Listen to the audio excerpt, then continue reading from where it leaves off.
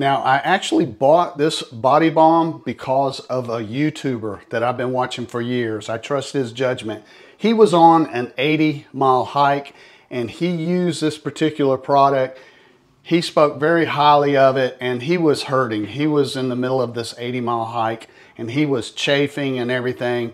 And he took this stuff out and because I have been following him for so long, I trusted his uh, opinion on it and I immediately ordered some for me. So what we're going to at least do today is open it up and take a look at it. So here's the container. It's kind of like a deodorant container.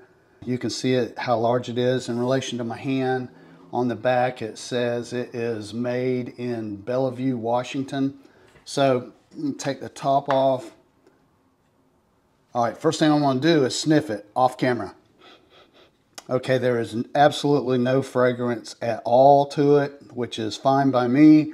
Um, they say you're supposed to use this on trouble spots on your body where you know you're going to chafe.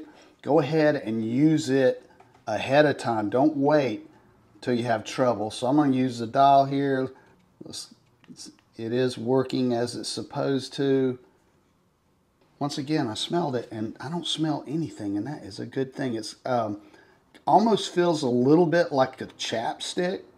It's the only way I know to describe it. Now I know this is very popular among hikers and people who work out and sweat a lot. That's why I got it. I trusted the guy that I was watching, so I bought me some so I can take care of those trouble spots when I hike. And I do a lot of biking as well.